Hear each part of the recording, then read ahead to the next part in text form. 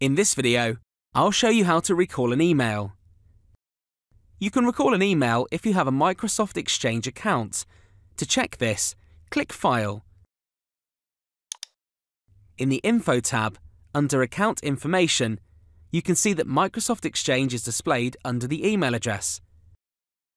You cannot recall a message that's already been read, is protected by Azure Information Protection, or is a message sent using Outlook on the web. Go to the email that you want to recall. Click in the Sent Items folder. Double-click the email. In the File tab,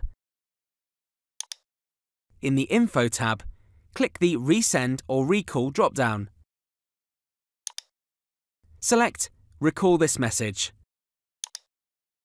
Ensure Delete unread copies of this message is selected.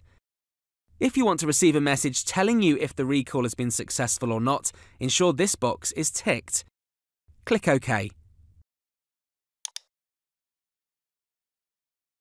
If you requested a fail or succeed message, it will appear in the inbox.